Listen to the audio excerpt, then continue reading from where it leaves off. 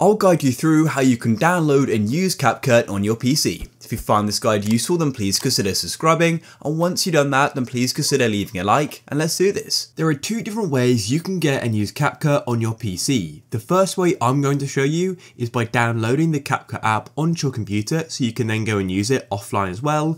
But in the second half of the video I'll show you how you can go and use CapCut in your web browser. So therefore you don't need to download anything, you can just go and use it on there. So firstly, I'm going to show you how you can download it though. So to do that, we actually need to go and use something called the Microsoft Store. So if you didn't know, Windows has its own app store built in. So to access it, all you need to do is come to the bottom of Windows and go and tap on search like this and go and type in Microsoft and then store as well. And it should pop up like this. Go and open it up.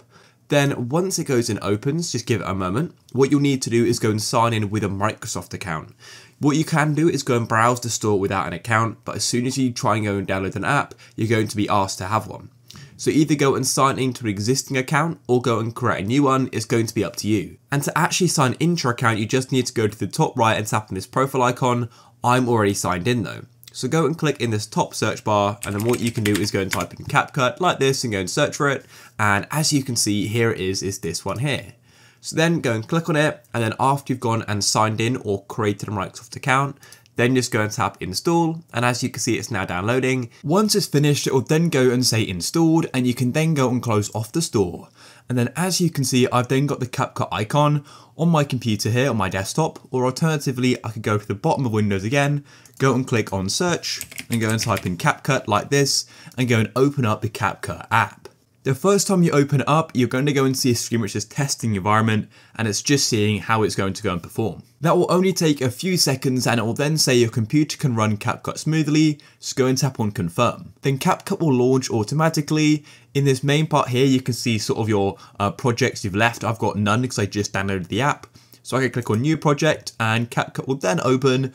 I could then go and start importing footage and go and editing it. Now for the second half of the video where I'm going to be showing you how you can go and use CapCut online. So you don't need to download anything and it's pretty cool. So go and open up a web browser. I'll just use Google Chrome.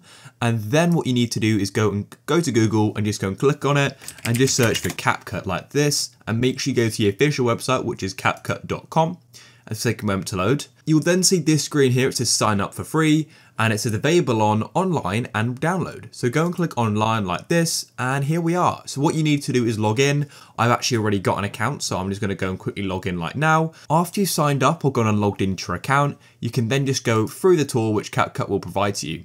So literally what you'll need to do is go and upload the footage onto CapCut. The one thing I don't like about video editing online in general is that you've got to go and upload all your clips of course because then you can go and edit them and also the preview screen is sort of lower quality because of course everything is done over the internet.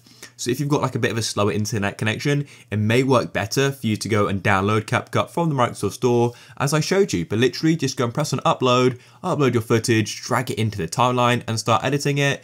You've got all these awesome effects on the left hand side, but that will also go and apply to when you go and get CapCut from the Microsoft Store as well.